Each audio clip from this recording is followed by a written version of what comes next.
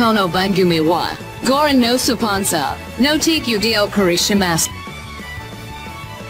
Bueno, eh, quería hacer una pregunta al director que dijo que se inspiró para hacer la película de, de historias. Quería saber si mezclaste las historias en la película o solo usaste una. Las historias de los vecinos de los... Claro, del pueblo. Sí, eh, bueno, fue un proceso de, estar mucho tiempo, de ir varias veces a misiones. Desde el 2013 que estoy yendo a misiones seguidos. Eh, y sí, tomo cosas de algunas historias que contaron, o, también hay, digamos, una película que es una ficción, si bien hay mucho documental, eh, no deja de ser una ficción, ¿no? Son personajes que fueron creados ficcionalmente. Pero sí, tomando rasgos y información de, también de lo que ellos me contaban en relación al imaginario que tienen de, de cómo sería este lugar inundado. Eh, también digamos, lo que significa vivir en un lugar de frontera eh, donde no hay policía, eh, por ejemplo, donde el, el tránsito entre Argentina y Brasil es ilegal. Esa, convi- esa con- convivencia de elementos también hicieron que eh, me, me pe- pensara que todo podría suceder en ese lugar. Eh, una, sí, premisa que sentía de la película es que en la frontera puede pasar cualquier cosa. Habilita, habilita que pueda suceder cualquier cosa. Desde lo sonoro, desde, desde historias, lo sonoro porque convive la música brasilera con la música argentina, eh, también historias de, de migración, o de gente que cruza de un lado a otro. Digo, es muy vital ese movimiento migratorio. ¿Cuántas películas hiciste antes? Mi primera película es La Cantábrica, la hice en el 2012, eh, también con actores espontáneos digamos, que habían actuado por primera vez. Después hice un documental, eh, La Cantábrica se el Festival de Rotterdam. Después hice un documental que se llama Caballo Negro, que produce también eh, Laura Mara Tablón. Y esta es mi tercera película. Yo diría que es la segunda, en realidad, porque Caballo es posterior a la crecida. Ah, En orden como de realización, claro. Pero en, or- en orden la crecida surge como una segunda película Sí. y Caballo como la tercera. Pero se Sí. estrenó primero Caballo porque la programaron en un festival documental y sucedió el estreno. El año pasado. Pero es mi, mi segunda película ficción y ¿Cómo seleccionaste los actores, actrices que son espontáneos, como decías, cómo los coachearon para que lleven adelante la historia? Eh, bueno, eh, como les decía, en, la, primera etapa eh, yo decidí que no sean actores de otro lugar, que sean personas del lugar. Parecía que los protagonistas tenían que contar su propia historia. Eh, y fue, si bien organizamos un casting más clásico, ¿no? de citación, de poner un punto de encuentro y comunicar el casting, fueron cuatro jornadas de casting, la realidad es que eso generó, sobre todo que, se, que en el pueblo se comunicara digamos, que se iba a hacer una película, pero en definitiva la- eh, el elenco que terminó conformando la familia, eh, las encontró- los encontré y los encontramos caminando las calles de, de Panambí, eh, en la calle, en las paradas de colectivo, yendo de acá para allá, recorriendo el pueblo. Y después, una, en una segunda instancia, cuando ellos decidieron comprometerse con una película porque quedaron seleccionados, ahí sí hubo un gran trabajo de bueno, contarles un poco más acerca de sus personajes, acerca de las escenas. Eh, ellos no, no tenían el guion, pero sí sabían todo lo que sucedía. Eh, inclusive parte de esas dinámicas de, encuentros, de, de jornadas donde nos poníamos a trabajar, surgían cosas nuevas, ¿no? ideas de nuevas escenas o enriquecer esa escena que había escrito eh, con cosas que ellos proponían, porque ellos hablan de otra forma, hablan por Buñuel, que en sus tiempos, yo lo escribí, yo lo escribí eh, con mi acento y modo de hablar eh, de Aedo, que soy, eh, Buenos Aires, y, bueno, ellos le pusieron su subjetividad al texto, ¿no? Lo transitaron por su propio cuerpo. ¿Y cuánto fue de filmación? Eh, la película en total fue un año. De rodaje cuatro semanas. Ah, Sí, pero fueron dos etapas. La primera se filmó en, en abril, mayo y la segunda en noviembre, como en dos eh, épocas diferentes. eh, sí, y do- dos semanas en cada uno de los periodos. Bueno, bueno, primero felicidades eh, por ese estreno. Y quiero preguntar cómo fue el proceso creativo junto a la dirección de fotografía, porque bueno, podemos ver tomas eh, bastante largas, pero también que, que muestran cosas y cuentan cosas sin, sin mostrar una palabra. ¿Cómo, cómo fue la búsqueda de, esa, de esas cosas? Sí, bueno, eh, un poco es una pregunta que la compartimos con, vos, eh, la respuesta. Eh, es el director de fotografía y cámara. Bueno, en una, en una primera eh, instancia, ¿no? la escritura de guion, ya el lugar te da- brinda un montón. Eh, ese lugar inspira imagen, ¿no? Eh, las ventanas, yo sentía que a través de las ventanas, el paisaje, lo como convivían la luz, convivían un montón de elementos visuales que ya estaban en el guion y que después con, Gustavo trabajamos un montón en esta idea, en, en pensar cómo acercarnos a contar esta historia y buscamos eh, eh, referencias a Van Gogh, por ejemplo, los nos salen de, de papas, ese, cuadro lo ubican. Sí. Eh, en esos interiores de esta familia pensábamos que se podía hacer una, una referencia estética y después bastante lugar no nos brindaba mucho, pero me gustaría que compartiera pues voy a retomar algo, voy a retomar algo muy lindo que pasó en el estreno de Noverá el fin de semana, que cuando fueron todas las, todas las personas de Panambí, como 260 personas, fue una cosa muy íntima, muy emocionante, y cuando terminó la proyección, una, una de las chicas dijo, le agradeció a Ezequiel por el, por el respeto en el tiempo, que era un tiempo misionero y demás.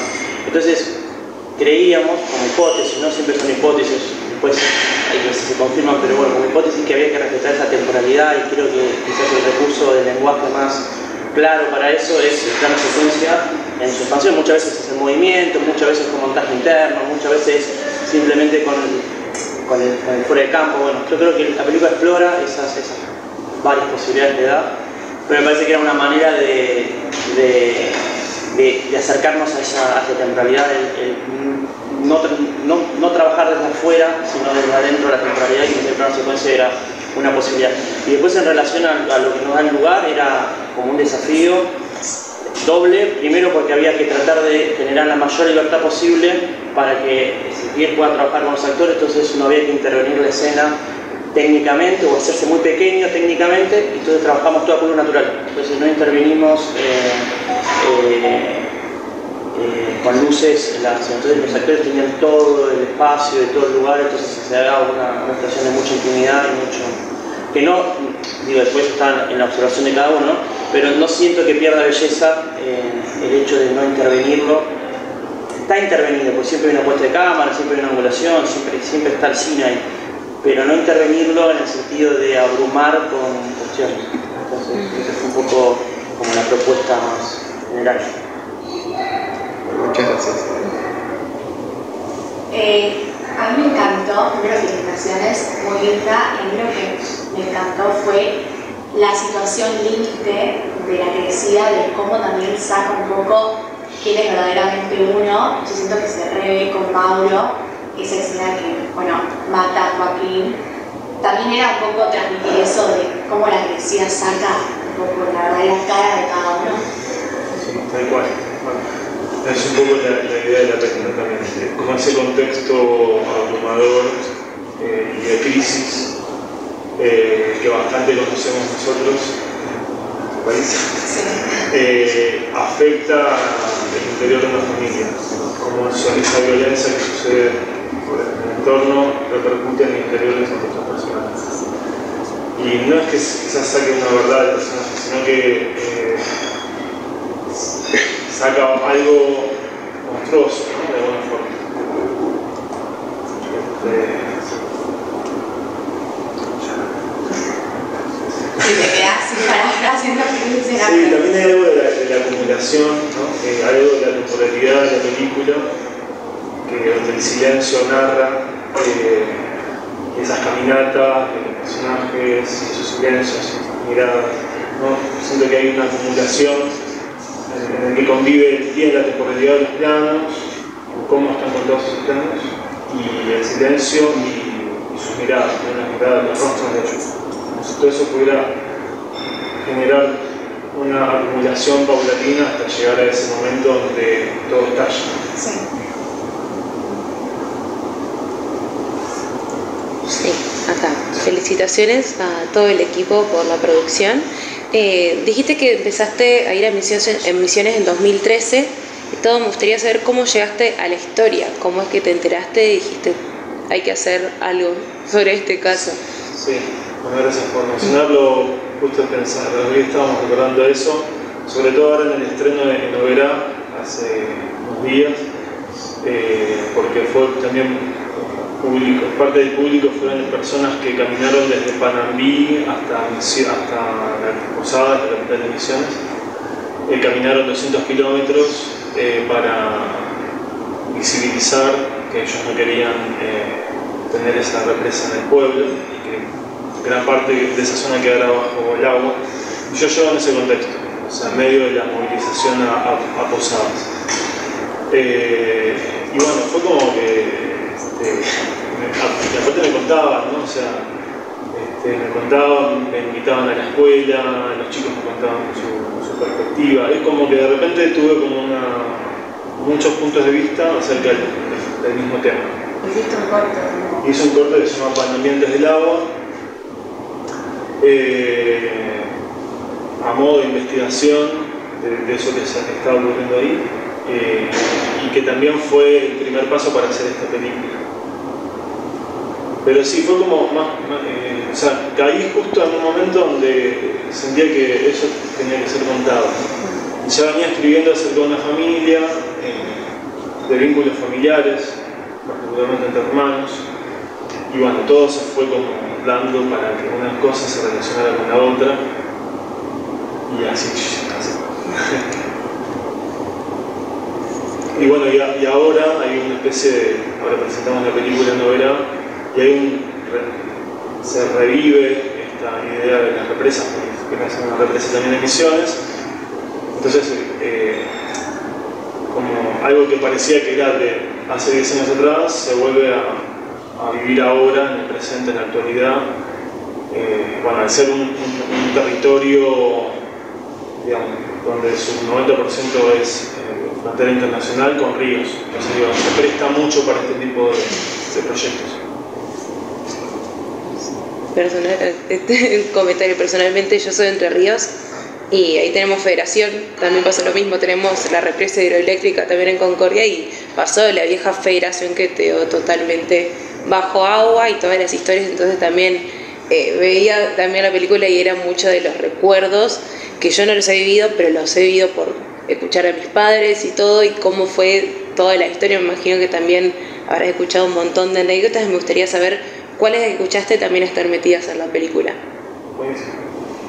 Eh, en Panamí conocí a personas que habían emigrado de, la represa Yacyretá a Panamí. Entonces eh, pude tener diálogos con, también acerca de otras eh, experiencias de represa, de, de zonas de represa. Y bueno, me contaron cómo fue, cómo fue la migración. pude- y también, bueno, tuve mucho contacto con, gente de, del lugar, nada, digo que conocí a muchos maestros de frontera, particularmente a dos, el de Andro y Liliana, ellos me transmitieron muchísimo cómo había sido la historia de Yacireta también, y me acercaron contactos de sociólogos, de personas que concretamente trabajaron en la represa Yacireta, y los entrevisté, eh, sí, de cómo había sido ese, también esa migración de esas zonas a, barrios. Entonces, de alguna forma, parte de lo que se cuenta en la, crecida también tiene, está relacionado con la investigación previa de cómo, cómo fue propiamente eh, el desenvolvimiento de un acontecimiento como este, que es eh, la construcción de una represa. Y eso, o sea, hubo mucha investigación. No quería tocarlo de oído también, ¿no? Y no quedar, tampoco me quería quedar solamente con lo que ellos creían que iba a suceder, sino que también quería saber, bueno, realmente cómo sería.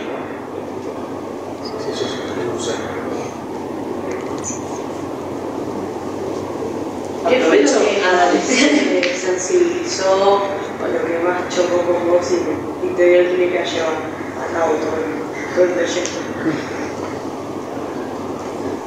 Eh,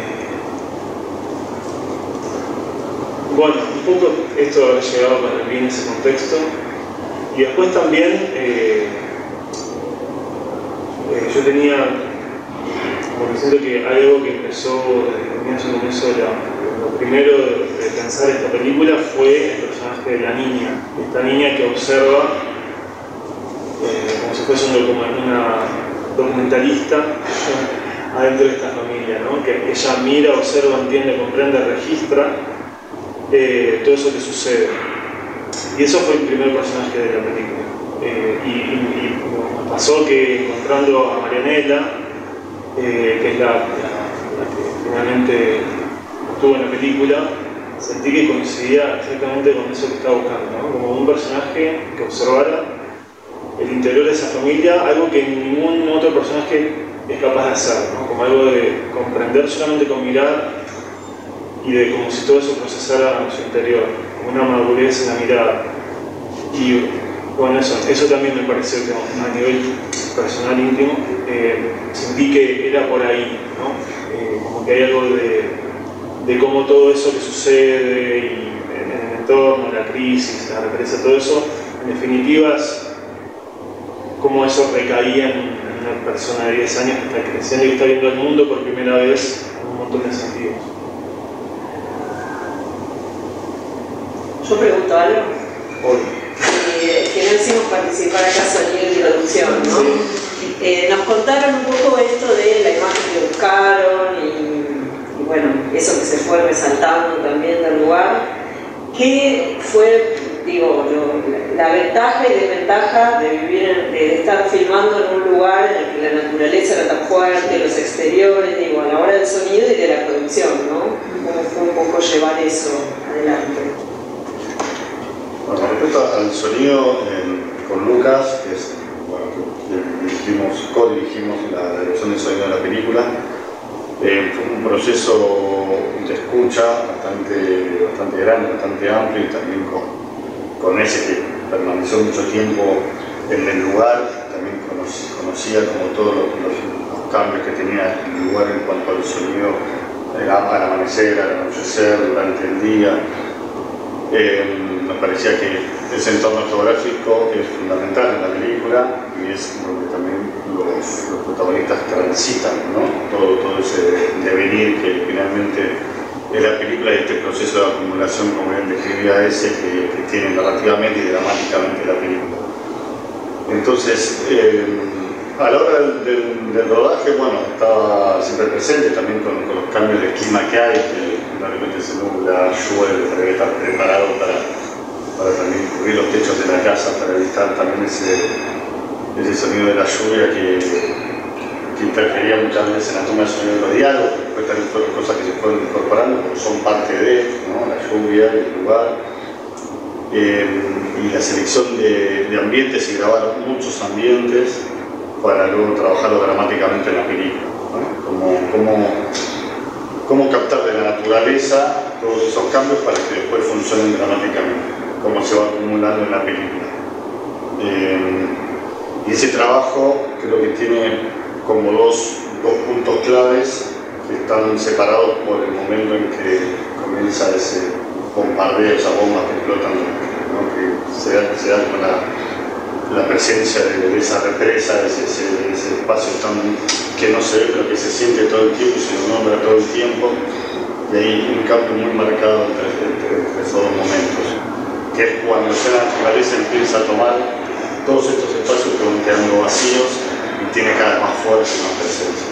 Creo que la película en eso logra captar muchos, muchos detalles muy finos de, cada, cada insecto, cada animal, cada pájaro que, que en esos lugares y van avanzando sobre los personajes que están retirados. Lo que queda esa naturaleza que en algún punto después va a ser invadida por esa represa, ¿no? por el efecto del, hombre. Y ese trabajo me pareció que era muy, muy interesante para escucharlo.